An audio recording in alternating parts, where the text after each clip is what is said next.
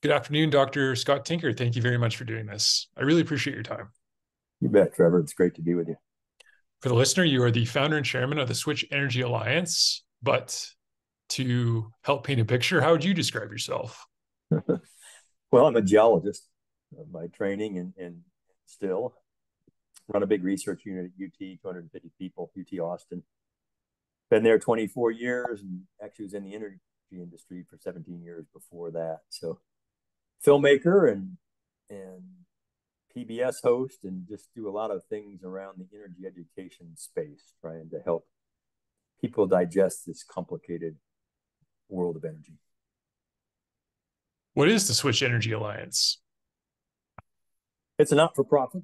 Uh, we started uh, film based. I met a filmmaker, Harry Lynch, many years ago, and we made a film together in 2009 and 10, post produced in 11 and released it in 12 on the energy transition 13 years ago. So it was kind of out there. We went to about a dozen countries all over the world and looked where energy was best in the world and some of the challenges of all forms of energy.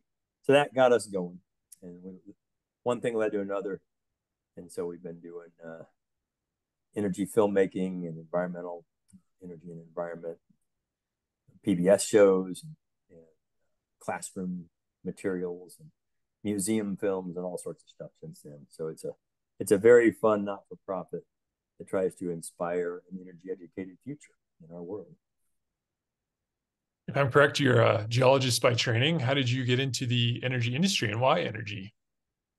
Yeah, I got out of school and went back to school and went to work uh, in the oil and gas business in the 80s, which a lot of folks did then. And ended up in the research side of it for the most part. So building computer models of subsurface oil and gas reservoirs, some of the really early computer models, which was a blast. In the late 90s, I left to go to the University of Texas. They were closing the research labs. Stayed in energy and built this big research entity down there, a very large entity, and we work all over the world. But energy impacts so many facets of our lives. So I've just kind of expanded into looking at all forms of energy and and how they interact with all forms of the environment and the economy. So it's complicated space, but fun. You know, very tangible and and practical and touches lots of lives. I thought today, for the purposes of this conversation, we could structure it around a quote unquote non political discussion around the highlights of your energy climate conundrum presentation to maybe highlight a few of the key points for the listener. One of which being your statements on energy being completely factual and factually complete in your presentation and what that means to the listener. But what does that mean? What is completely factual and factually complete in the energy context? Right. Yeah, I was asked to testify to Senator Joe Manchin's first climate hearing two years ago and did that in, in Washington. And there were four witnesses. I was one of four. Lots of things were being said that were factual. Uh, so let's call that completely factual statements. But they weren't factually complete in a sense of the listener or the policymaker or the media person in the room might be left with an impression of something that wasn't incorporating other components of that dialogue or conversation. So you can oversimplify to the point of being somewhat uh, misleading, and and that happens. You know, cherry picking, some people call it. But I try my best to be factually complete, which is impossible. Nobody can be factually complete. We don't have all the info, never will. But uh, it's really important to try.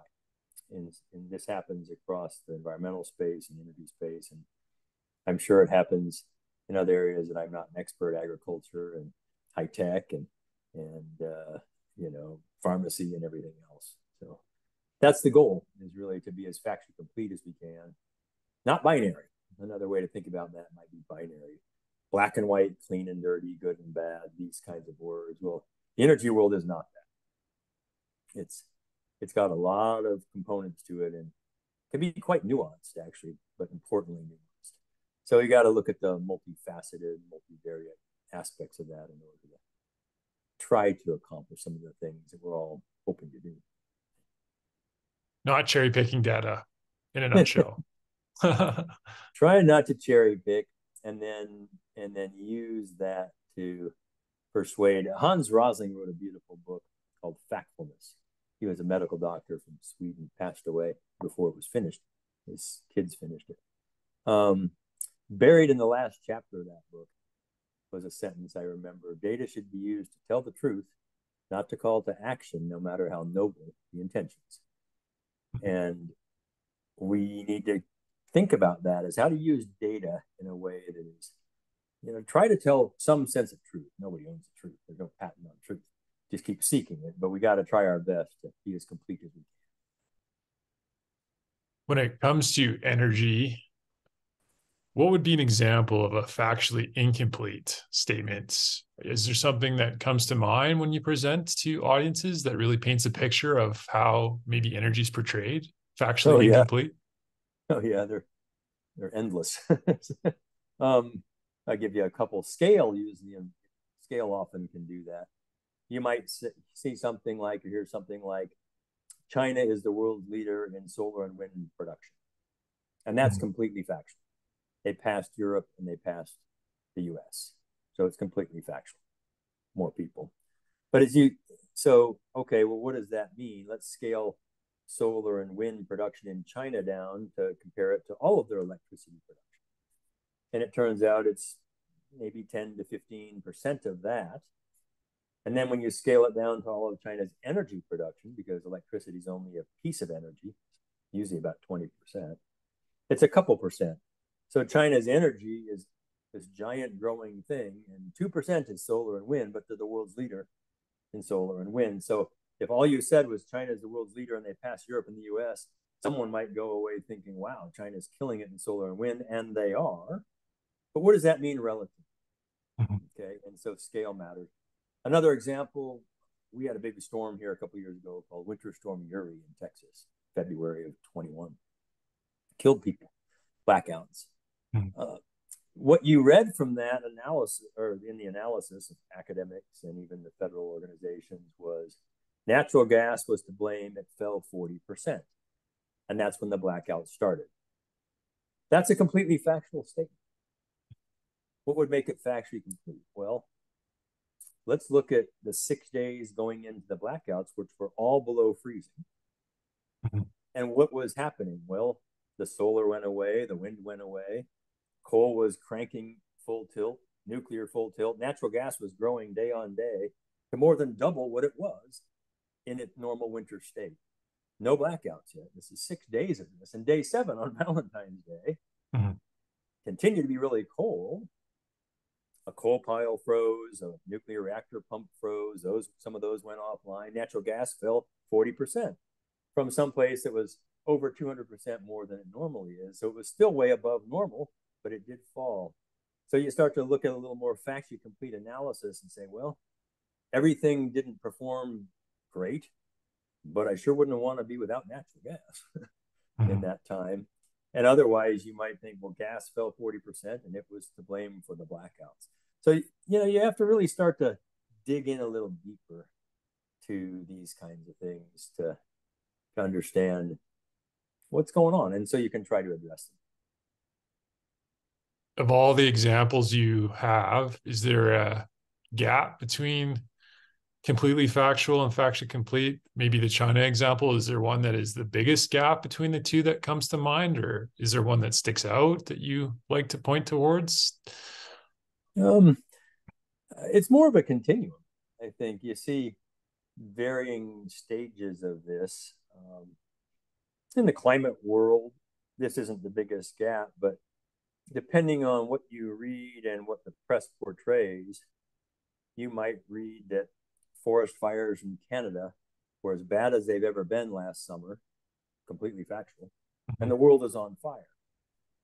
Okay, well, you go look at the data, and depending on what you're looking at, forest fire intensity or acreage burned or a variety of things globally, actually, fires have been coming down for 20 years globally. But there are some places in the world where it's really bad.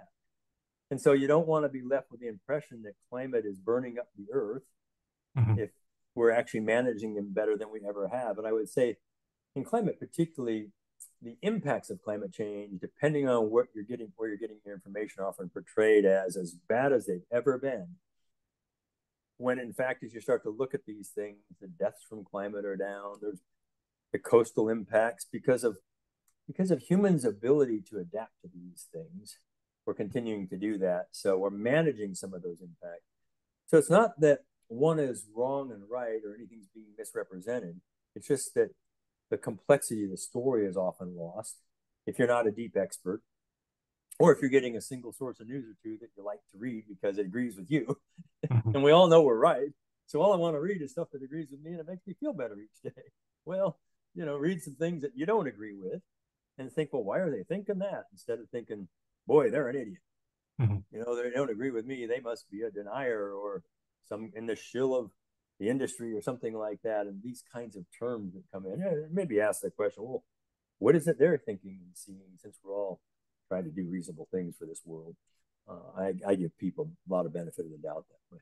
So you know, big gaps. Um, China has some. Uh, Germany has some good intentions, but you know, you would think where's a gap when Mr. Putin cut off the natural gas to, to Europe and invaded the Ukraine. Germany had a lot of that gas coming in and had built some of their economy around it. Germany started firing up coal power plants again mm-hmm. and then continued to shut down their full nuclear reactor fleet for generating electricity. So this is this is challenging and the climate scientists were upset by this, rightfully so. I mean, we've got these nuclear reactors generating zero emissions, and we're going to shut those down and fire up the coal.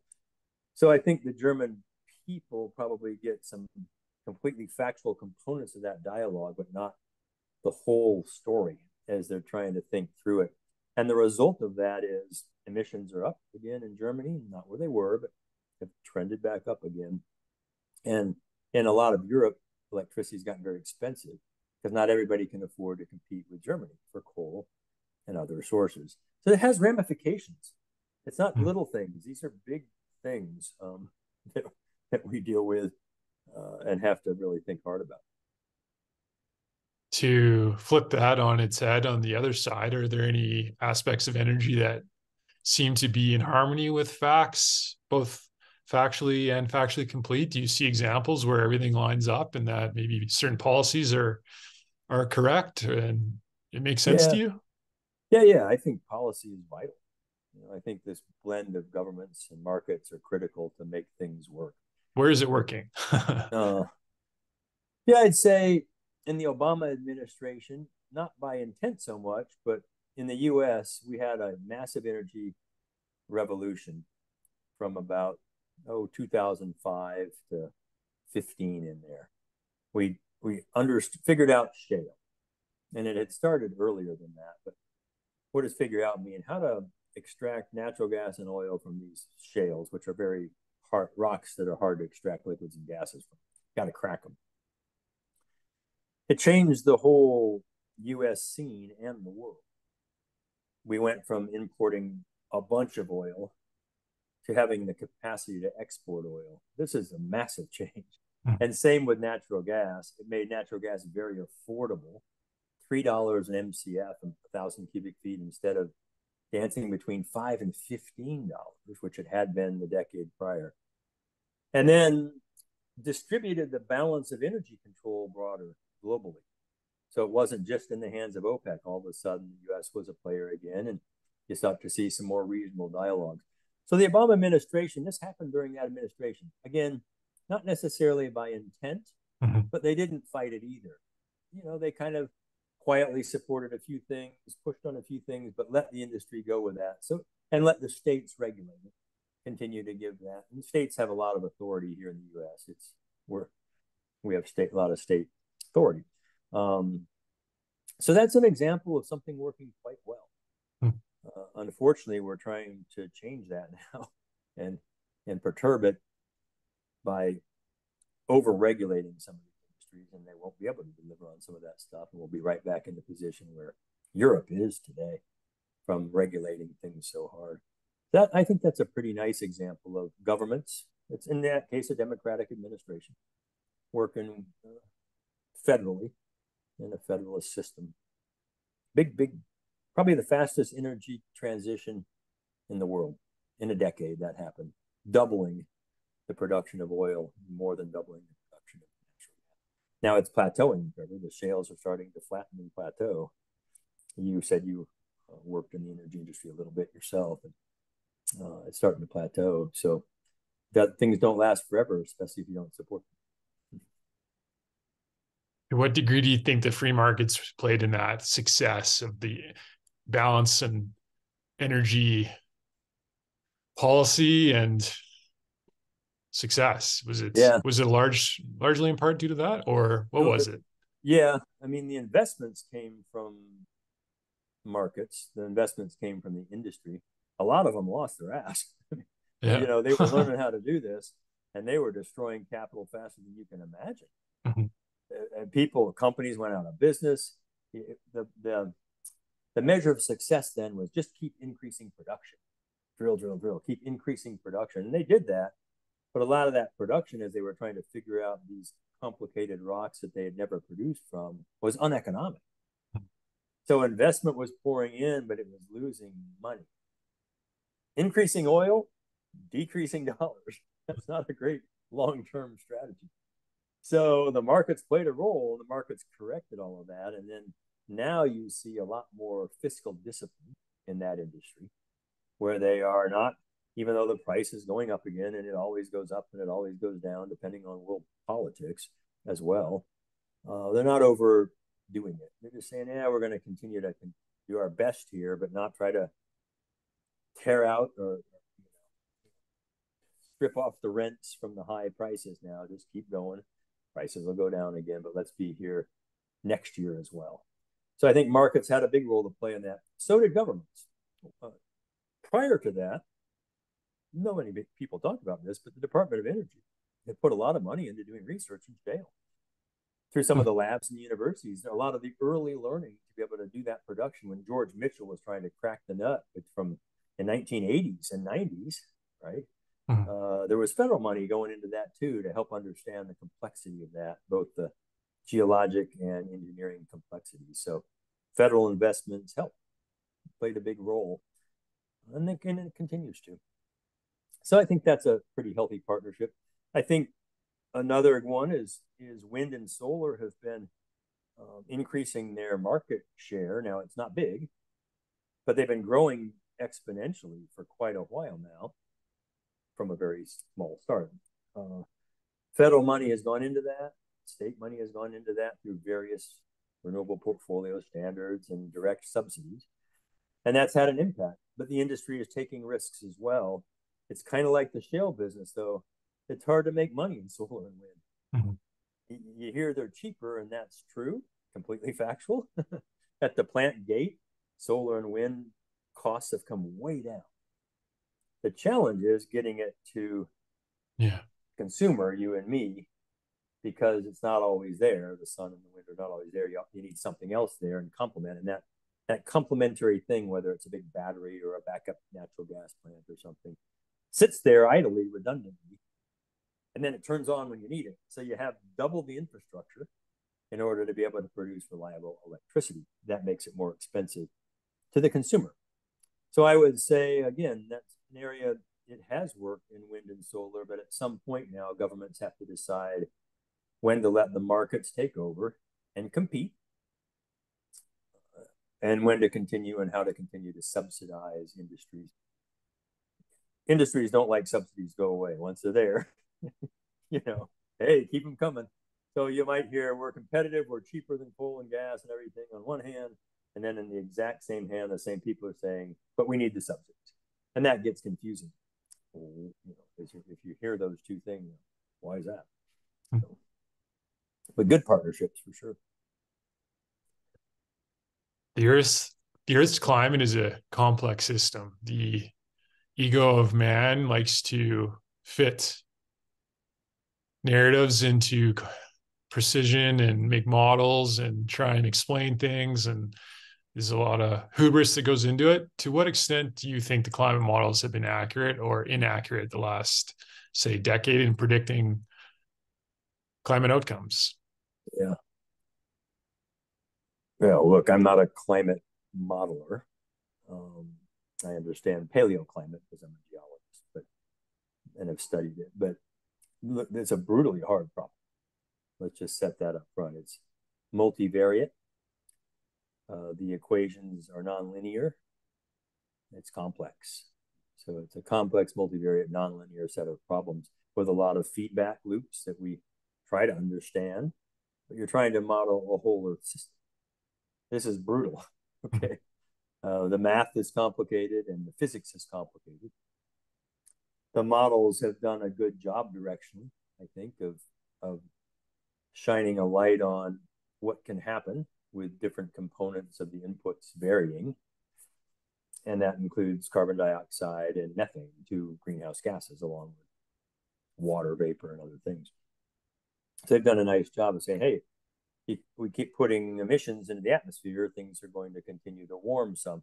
Now, the best models in the world, when you look at their forecasts out into the future, there's quite a range of outcomes. Each model has a different outcome, and each modeler has a different set of things they do.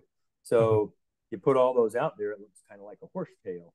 Directionally, they're going up, but there's there's a, quite a range in the prediction of the future in each set.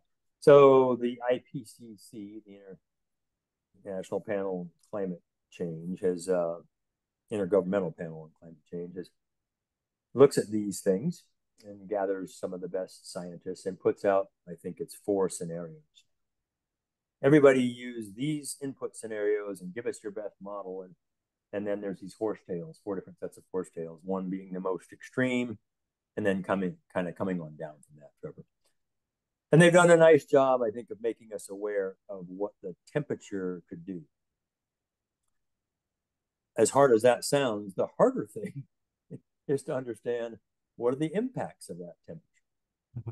What does it do to storm intensity and storm frequency and drought intensity and drought frequency and forest fire intensity and area burned and frequencies counts and sea level rise and its rate of acceleration ocean acidification, some of the big things we study and worry about, the impacts of climate change, what are those going to look like? And this is a hard, hard problem. There, there are different looks at that, uh, and they're okay, but it's tough. It's tough to truly, fully understand that. And I think people get frustrated, even they'll get frustrated by me saying, okay, mm-hmm you're going to minimize people's confidence in what we need to do. Well, no, I don't think so. Exactly. I think people need to hear that there's a range of possibilities and we need to work on it. Part of that is going to be trying to mitigate some of those and adapt to some of those. And, and part of it could be they're not as bad as we think, or they could be worse.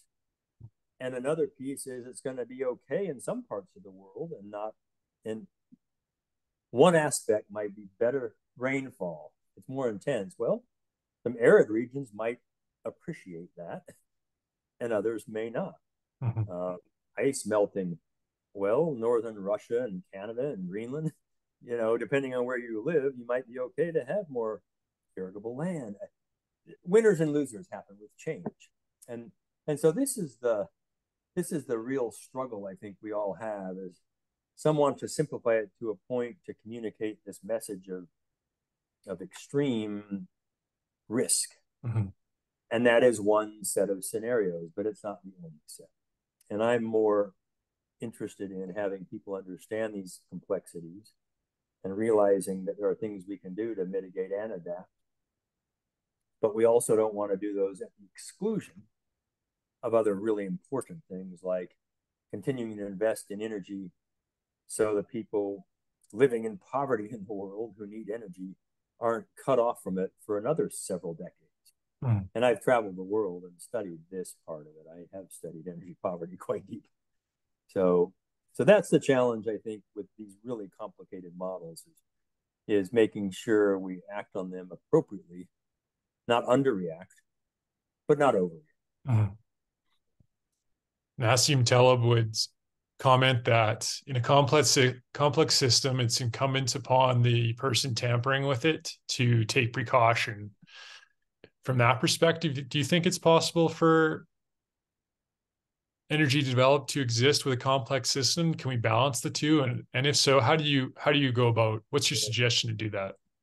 Yeah, I love his work and Black Swan and other things. I, I think uh, um, I've heard the analogy of insurance. Well, let's just buy a bunch of insurance. Uh, it depends on how much that insurance cost. You know, I'm in a home and it has a value of $100. If the insurance is $100 a year, maybe I don't want to do that because it basically in one year I could have replaced it myself. Mm-hmm. And, and so we have to start to think about the economic components of that and also um, who they affect the most. Mm-hmm. And, and so my my response to that in general is of the 8.4 billion souls on earth today, only a couple billion of us have the kinds of lives we lead that you and I are leading right now, even the ability to do this remotely. Mm-hmm. And another 6 billion don't. Three quarters of the world severe energy poverty, economic poverty on up through some transition to, and so they need energy. Uh, energy, I've said many times for many years now, energy won't end poverty. You can't end poverty without energy. Mm-hmm. It's a dilemma. It's a conundrum. The world needs energy, and, and much of the world doesn't have reliable energy. So, where are they getting it? Same places the highly wealthy developed world got it from coal and currently from wood and mm-hmm. dung and other biomass, coal, and then slowly transitioning. Maybe they have some hydro, big dams they can build, and wind turbines and solar they could put up in distributed ways, but they need it. They need it. And they and it's not just for them. It's not some altruistic statement I'm making. I think for the betterment of the world and its economic health, that's important. Mm-hmm as you grow your healthy economy, it allows you to do something very important that most of us don't relate to that. That's invest in the environment. Exactly. The worst environments on the planet are where it's poor, the dirtiest water, the, the most polluted soils, the local air where people are dying from breathing particulates in their own home. So that's what that allows. It, it allows economies to grow and begin to invest in the environmental protection. And now the whole world is thinking about it and afford to protect at different levels the environment. So energy poverty impacts the environment. Yeah. The safe and reliable energy is directly correlated to the quality of life in the developed world. Absolutely. It is.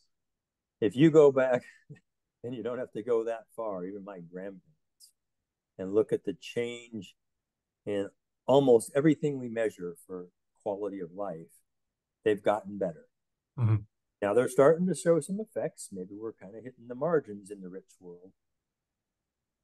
But as you work your way down into ever less advantaged parts of the world, those things don't exist yet. Mm-hmm. One of the really interesting things I've been looking at recently, uh, Trevor, is population again. And if you put the the countries of the world onto a plot that shows a wealth across the bottom on the x-axis, the wealth against fertility rates. this guy's going to talk about fertility rates. Yes, I am. You know, it's important because population growth is one of the big drivers of all these consumptive things in the world. We consume more the more people we have. Mm-hmm. So, fertility rates against wealth. What you see is the wealthiest nations in the world have the lowest fertility. And as you get poorer and poorer, those fertility rates are higher and higher. Now you go back and compare 30 years ago to today, all the countries' fertility rates are coming down mm-hmm. and they're moving sort of toward the wealthier side. They're not wealthy, they're still very poor, many of them, but they're moving that direction. A 2.1 fertility rate is called the replacement rate. It's it allows population to stay stable. Okay. You'd be amazed how many countries are below that. China is at 1.2. Mm-hmm. half of that almost. And India hit 2.1 just last year. India. So you're starting to see this trend of population growth slowing and the potential for it to go flat. And this has demographers and economists all on Twitter because they don't know what to do if we're not growing.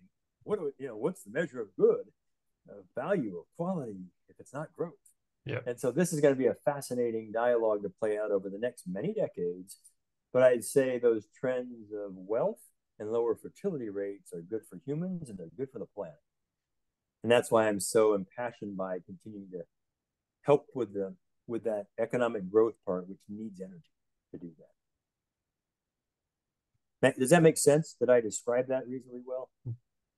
Yeah, absolutely. I think you're preaching to the choir on that subject, but for the listener, it's sometimes helpful to explain it in um, simple examples where, in fact, the undeveloped world is much dirtier without the use of fossil fuels. Has that been one example that you have found yeah. to to help explain some of the realities?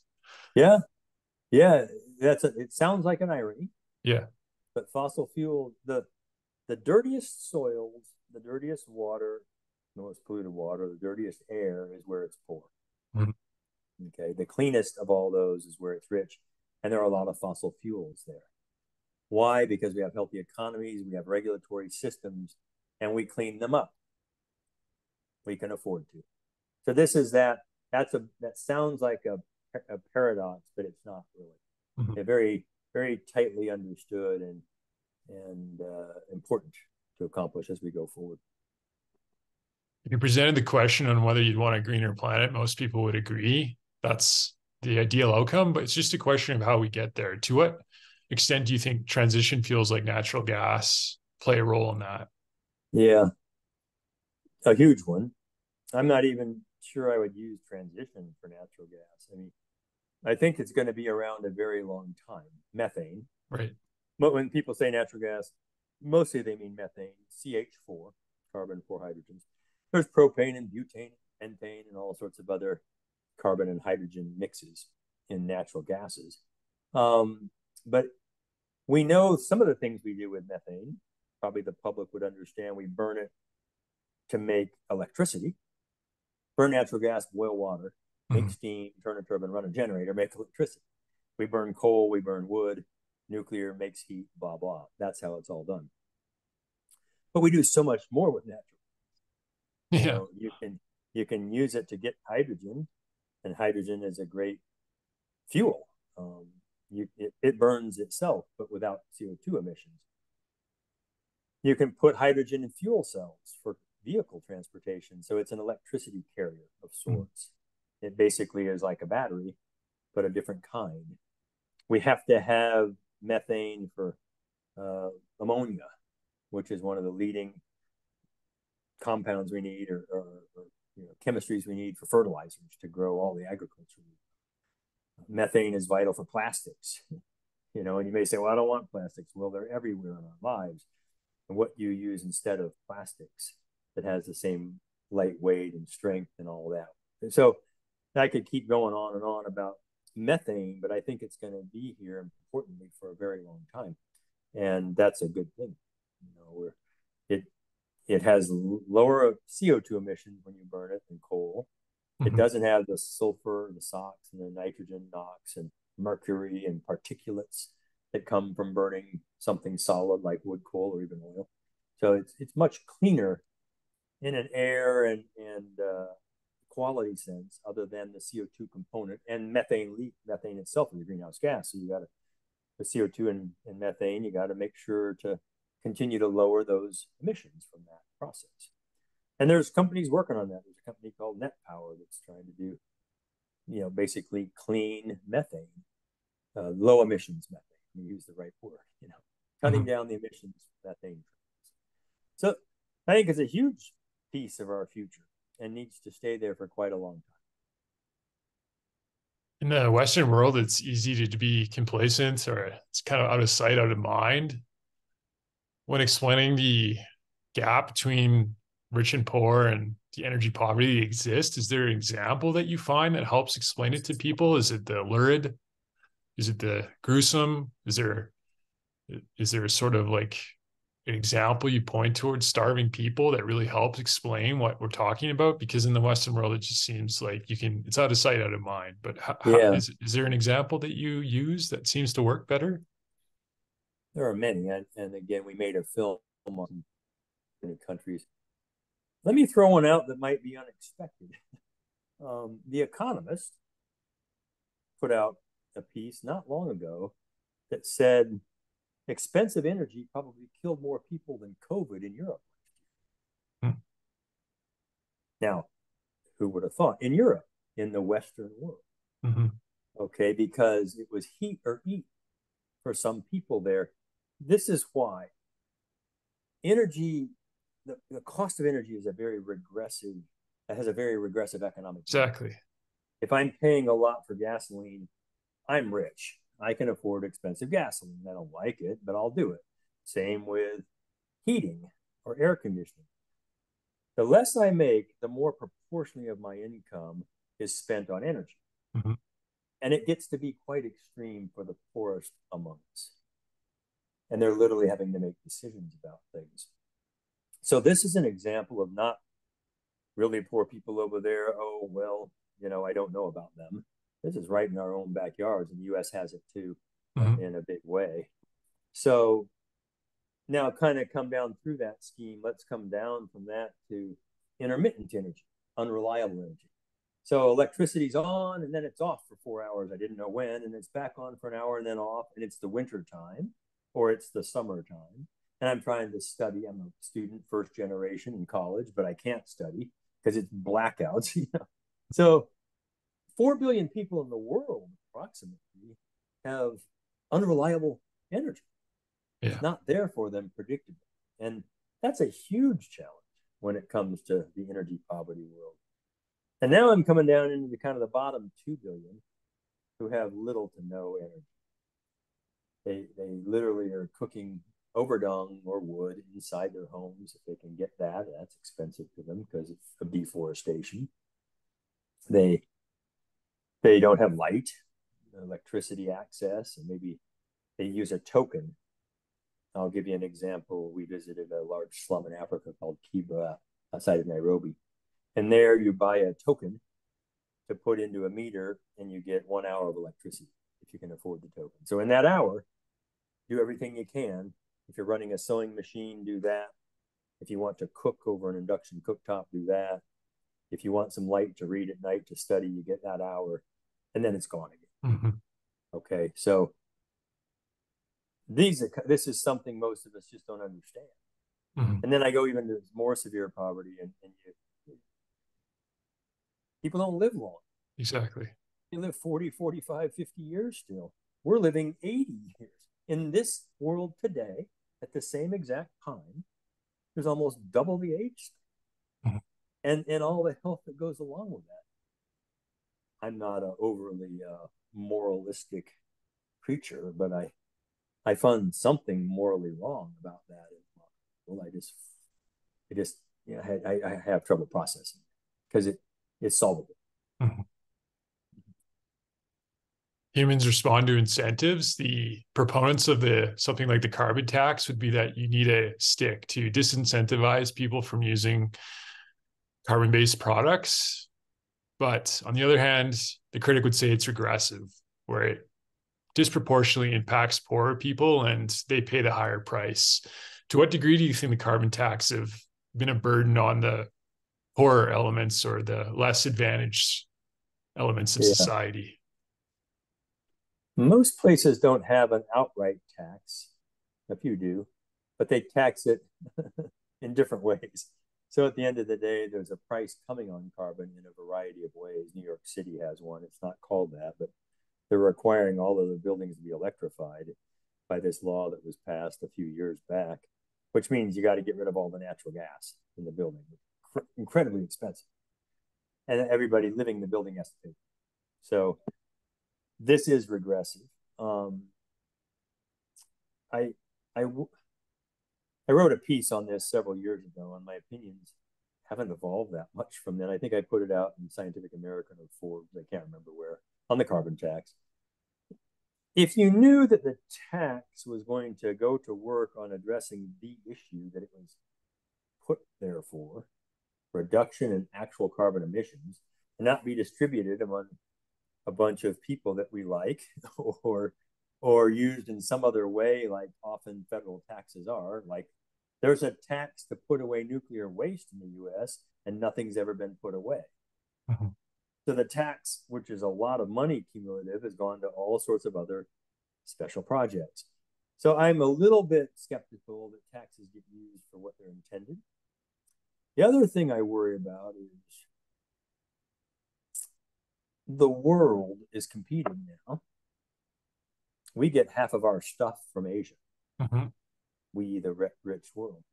Why? I mean, doesn't it cost more to make it there, put it on a train to a ship, ship it across to another train, to a truck, to a store, to my car, to my house? I mean, can't that possibly be more expensive than just making it right there? Uh, no, it's not. It's cheaper. And so, but the energy equation of that little nightmare is incredible. The amount of energy to do all those things to get that toothbrush delivered to my house on Amazon truck, you know, one toothbrush. It's mm-hmm. stupid. Mm-hmm. It's crazy. It's, it's crazy thinking. So, but we're doing that. Yeah. So I think um, parts of the world, we're essentially saying to Asia, make my stuff cheap, use coal, because that's the affordable, reliable thing, and then just give it to me and I'll be green and you be dirty. But it's not my problem. I'm green. Well, it is your problem because there's one atmosphere and you're passionate about climate change. It's all going up into the same atmosphere, which, by the way, circulates things pretty efficient. Mm-hmm. So it's not addressing climate change.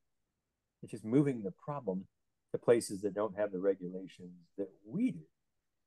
So this is this is the challenge of carbon taxing. If the world doesn't do it, only some, it's going to be disproportionately impactful. People talk about a border tax to mitigate for those. Okay, I just made an interesting graph last week. I showed the trade between India and China over the last 15 years. Mm-hmm be kind of in parity. India is importing a hundred billion dollars worth of stuff, goods from China now, and exporting 10 mm-hmm. and that's grown from ten. So China has this huge market in India now, 1.4 billion people to sell stuff to. They may not even need Western Europe someday soon for mm-hmm. their markets. Who knows? Put on your border tax. All right, well, we'll just sell our thing over here. Good luck. And who who really controls at that point in time? And who really is driving? Who what's the chicken and what's the egg? The cart and the horse in that little scenario. We're very used to thinking in a currently static way. Linear. all those dynamics are changing. Yeah, there in terms of the regressive nature of the taxes, it's easy to say when you've got a million dollars that the carbon tax is fair, but when you only make 50 grand a year, you pay a way higher price in terms of filling up your car. Do you think that is a good way to go about that problem, or is there better solutions? I don't think it'll work. You know, I, I, I don't know if it's good or bad. I just don't think it will have the kind of impact on actual climate that we think it might. Mm-hmm. And therefore, you're going to, again, disadvantage the poorest among us. Some have talked about redistribution. So you tax and then you give the poorest people money back or tax breaks in order to do that. It gets pretty complicated. Exactly. And a lot of gaming goes on. And the tax code goes on. And accountants love it and lawyers love it and everybody else kind of gets stuffed. You know? So what's a better way? Uh, it's hard. You have to have you have to throw several levers. Technology, certain technologies to lower actual emissions at the right price and the right scale so it can't be a little bit. There's some cool things they do that much. if, if, your viewers aren't watching, I'm holding up my fingers. yeah. um, the right scale and the right time frames. It, ha- it can't be 50 years from now. And all four of those have to happen mm-hmm. to make actually lower our emissions. This is complicated. So I'm about setting up incentives that work in a way such as this we'd like to see emissions lowered in this sector uh, go about it any way you wish. And if you're actually, I don't care if it's coal or whatever, if you can lower your emissions in some fashion, capture the carbon and put it away, more efficient coal power plants, you know, um, co-firing, whatever. Uh, then you can receive, you get some of the benefits of these incentives for the actions performed that actually had an outcome we're trying to achieve. Focus on the emissions, you know, not the money and not the fuel, on the problem, which is the emissions. So focus on that. How can we collectively begin to reduce those? And then don't force fit one solution onto everybody. Mm-hmm. These electric vehicle mandates that are happening gleefully in about almost a two dozen states now. Crazy talk. You know, yeah, you have to have options in real markets. EVs work some places, but not everywhere, mm. even in those markets. So you're starting to see big time pushback in Europe, even and in the US on on mandating a solution that doesn't fit everything. It's politically popular for your voter base, but it doesn't actually fit and address the problem. So we and we've seen that. It's always been, always will be, but we got to be very thoughtful hmm. and careful about keeping track of mandates as opposed to looking at the problem and setting up scenarios and then letting different states and, and countries and industries and companies address those things in the ways that they can. I'm correct. China builds a new coal plant on average once a week. So, in terms of that and it being one atmosphere, to what extent do you think carbon taxes are just virtue signaling in Canada, where it, appears that you're doing something, but in reality, it makes no difference at all? Yeah. Oh, look, I think everybody needs to think about how to contribute. So I, even though Canada's a relatively smaller economy, not compared to some, but relatively, so that impact won't be huge. But I think it's important everybody does some things. Uh, on the other hand, um, forcing that into a political set of solutions in which one set of voters appreciates the outcome and the other one is trying to figure it out and then a bunch of industries don't know what to do mm-hmm.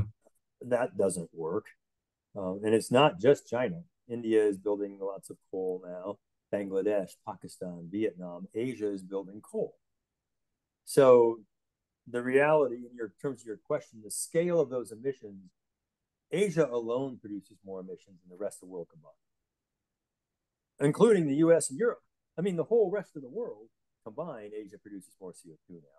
And they're going up, everybody else is flat to going down in the developed world. And then the undeveloped world doesn't do hardly any because they don't have any energy mm-hmm. to speak of. So is it virtue signaling? Uh, kind of, in a sense of real impact in the time frames that are needed. Mm-hmm.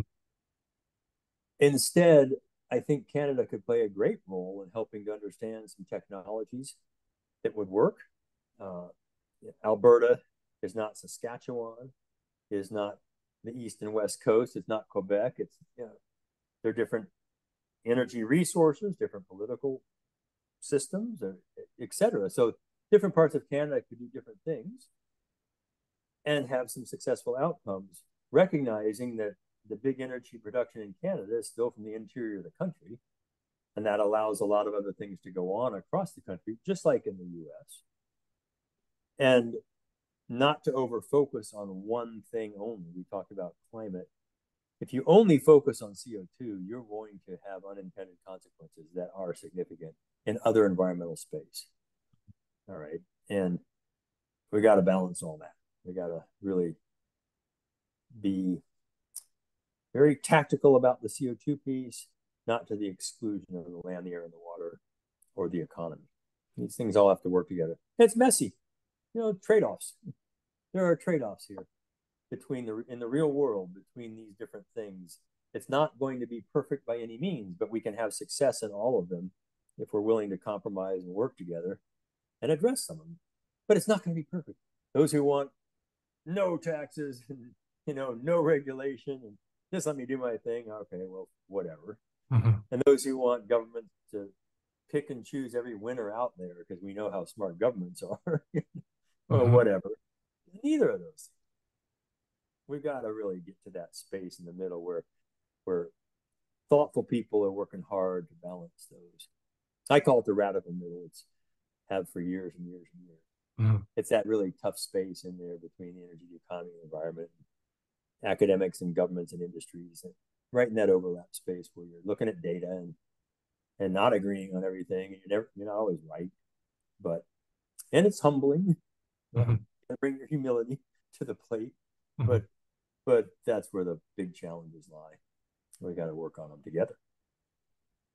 Another thing, Canada, maybe in the U.S. too, is we're spoiled from a security point standpoint. We're not threatened in that. One point you made was that a lot of times actions speak louder than words, and when push comes to shove, energy security is really what countries look towards. In the case of Germany, they went right back to coal as soon as Russia cut them off. At the end of the day, how much does energy security weigh in and all in and all this? It, maybe in Canada we're lucky, but not everyone else is. You know, it's a huge piece. If you look at climate security, energy security, economic security, leaders of governments and industries need secure energy and secure economies. That's why they're in, that's why they're there is yeah. secure the public of those things. Yeah.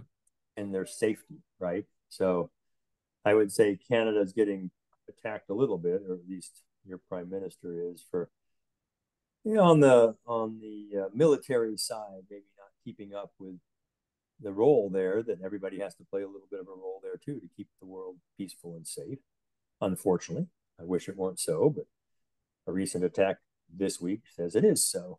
And still, so Canada has important roles to play, and a lot of people come to Canada. You're multicultural. I started coming to Canada in the mid '80s, uh, and and in Calgary, it was multicultural then. It's, it's a phenomenally uh, nice, diverse, educated, um, resource-rich country. So there's a big role to play here by example of how to do these things well without going too far off into into government land or industry land or academic land, keeping in that tough inner space in the middle, then then we can work that problem. And Canada has an important role to play there. But at the end of the day, it just seems like we said actions speak louder than words. And when right. it, governments are pushed into a corner, whether they are willing time willing every to time. admit it or not, the fossil fuels will come out on top. Oh yeah, every time they go for the secure energy, every time. Right. Yeah.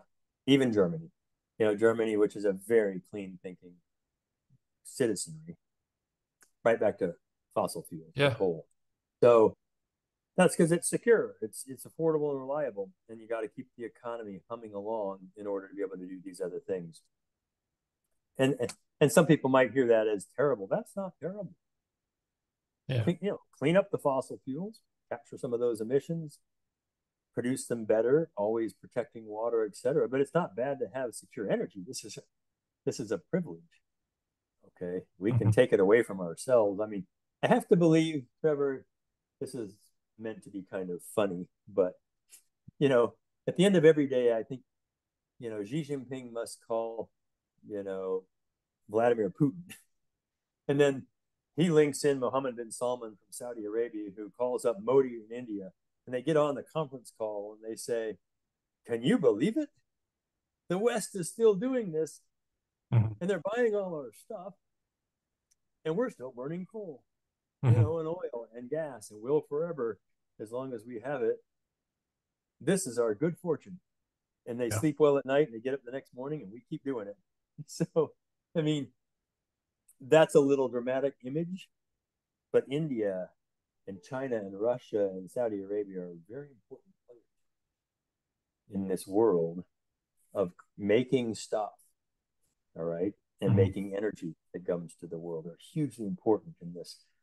And what they're doing, watch their actions. That's how they plan to continue for a very long time. And each of them is run by a quote well, not Saudi, but an elected official. Right. okay. India, China, and Russia. Okay. So they've been around a long time, those elected officials, and they'll probably be around a long time to come. And it's important what they do. We got to be pretty sanguine and, and, and, and thoughtful in our as we think about the role of the current NATO group, if you will, and, and, and how we're going to respond and react to all of that. Because we could find ourselves accelerating into irrelevance. Exactly. And that would make that would make some people very happy. you think about this stuff a lot, recognizing some of the issues we've just talked about. One of them being that the quote unquote elected leaders of these countries owe it to their citizens to provide them with clean energy, recognizing all the stuff we just talked about that you basically know all about. What do you think is the solution to this mix? Is it just pragmatic solutions for countries and reducing their carbon footprint where they can, or is it what do you think is the best yeah. way to go about it? I get asked this a lot. Unfortunately, there's not a silver bullet or a single answer. It is it does vary around the world, but some components of that the physics would say we're going toward ever denser forms of energy. That's mm-hmm. just what drives eight, nine, and soon to be 10 billion people. So that would include nuclear, natural gas, and hydrogen, at some level, oil, and then supplemented with other forms. The physics drives us that direction. Yeah. Economics drives us toward what's affordable. And again, you'll hear that solar and wind are more affordable. That's a certain measure called the LCOE or levelized cost of energy. That's at the generating source, the plant gate, if you will. Yes, they're very cheap now, but again, to get it to you and me, they've got to have that redundant backup. and makes them expensive. So still the cheapest, though they wouldn't be using it, is coal around mm. the world. Um, pretty remarkable fuel. And then natural gas in some places, depending on how much of it you have, and oil, and how many shipping lanes you can open up, et cetera. Nuclear, once built, the nuclear electron is really cheap. It's yeah. so efficient and dense. So economics kind of drives us that way as well. Again, supplemented because not everybody has all those things. And then uh, when you start think about the environmental drivers, we use the word clean. All forms of energy have environmental impact the reality is we have to mine for everything to capture energy, whether it's a solar panel and a wind turbine or a, a pump jack and a drilling platform or, or a nuclear reactor.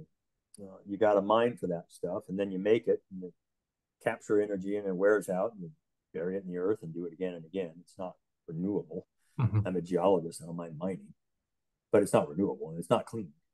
Okay, so when you start to think about the environmental impacts of mining and drilling and everything, they're real. So the environment drives us toward lower impact. Lower impact typically means less stuff, right? If I can if I can accomplish the energy needs or, or satisfy the energy needs and demands with less stuff, that will typically have less environmental impact if I do it well. Again, interestingly enough, kind of driving us toward denser more affordable forms of energy. So, in this big mix to lower the emissions, nuclear has to play a role, both at the large scale and the small modular reactor scale. Natural gas is going to play a role, and the hydrogen comes from that, however, it's made from water or methane or otherwise. Oil is going to be around a long time. It's just so dense in a liquid form for our big machines, mm-hmm. be they planes or you know, or giant trucks or whatever it is we need to haul around the weight to energy impact ratio is good with gasoline and diesel and jet fuel. So they'll be around a while for that. Maybe less in the in the smaller vehicle space. Um, I think batteries will play a role. Smaller vehicles, scooters, two wheelers, three wheelers, and some small cars in the cities and that kind of thing, but not everywhere. Don't force them everywhere; that won't work. Mm-hmm. Uh, and then and then you got to have more efficient uh, gasoline and, and, diesel vehicles, and then hydrogen fuel cells and even compressed natural gas. So some optional blend of those different things are good hmm. in the transportation sector. Industrially, we can and, and we can continue to clean things up. You know, we are terribly inefficient. Better windows, better insulation, better lighting, um, time of you know meters in rooms. So when you leave the room, the lights go off and the air conditioning, like in a hotel in Europe. Brilliant. The things that we can do that don't change our way of life, but man, they use a lot less energy. So get a lot more efficient with our energy usage and more educated about it. And we can save some things. and and then finally recognizing that it's not just good for the people who don't have anything, it's good for everybody. If the world's poor begin to get access to things and lift themselves from poverty, you see birth rates, fertility rates go down, you see environment get more protected, consumption starts to get in balance, etc. So juggling the demand side with the supply side is critical. And we can do it. Some countries have gone pretty far down the supply side and picking winners. And I think they're starting to recognize it's not working. Costing a lot of money, it's not having the impacts they thought. Don't judge the intentions. Maybe the intentions were good. Mm-hmm. So let's say they were, but it's not working. So don't be too proud to reset. You know, we learned some things. That's knowledge. I'm a leader. I'm going to adapt and try something else. You know, we got to allow our leaders to gain knowledge and and then change. That's that's what learning is all about. It's not flip flopping. It's called pro- progress. it gets harder. If I kept telling my my kids are all grown and gone, I have four of them. I kept telling them the same thing, and they keep doing the same thing, and I keep telling them the same thing, doing the same thing. There's no learning going on here as a parent. Try a different strategy, mm-hmm. and maybe you get a different result. So I think that's uh, that's kind of where we are in the West right now. Is we're just starting to see a bunch of different of knowledge that these things aren't working that have been imposed, even though they had good intentions. So let's uh, let's adapt new strategies. Well, that's an hour. I think that's a pretty good place to leave it. We could talk for hours, but that's a good covering of the waters front. I really appreciate your time. Trevor, it's been good to be with you. Thank you. I enjoyed it. If and good so, luck with all you're doing. Good luck with the the ski uh, head distribution business and your own skiing. Uh, that's terrific. I'm glad you're still doing that. Thank you. If somebody wanted to learn more about maybe a pragmatic energy future, I think you're at the Switch Energy Alliance website. Yeah, switchon.org. Switchon one word.org. And all of our films and TV shows and museum stuff and classroom materials and my slides. I speak a lot. My slides are accessible to people as well. So go there, check it out, take some things down and share them around. I think we're trying to really find that non-political point for people to access. Awesome. Well, we can end the formal conversation there. Thank you very much. Great. Thanks, Trevor.